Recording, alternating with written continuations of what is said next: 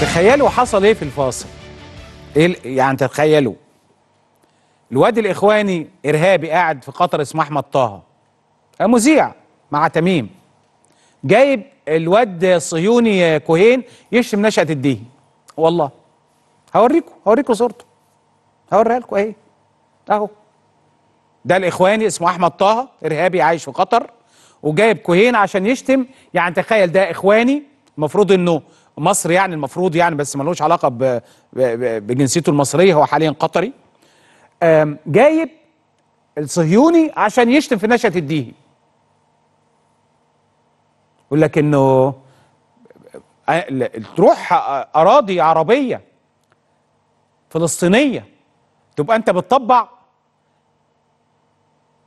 وجايبه طبعا إيه سباب. يعني وطبعا هو قاعد الواد طبعا الواد الاخواني الإرهابي ده قاعد فرحان وسعيد إنه واحد إسرائيلي صهيوني بيشتم نشأة الدين. دلوقتي بالمناسبة من دقائق. من دقائق الكلام ده.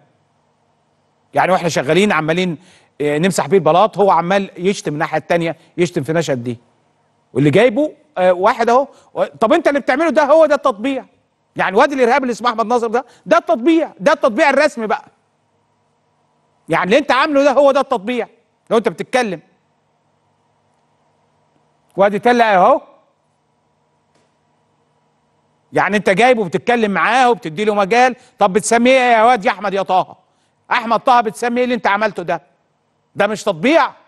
هو ده التطبيع الاصلي هو ده. انك تدي له المجال وتتكلم معاه وتاخد وتدي معاه في الكلام.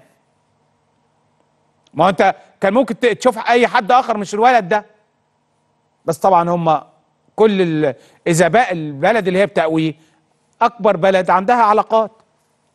كانت و... وتفضل السر والعلن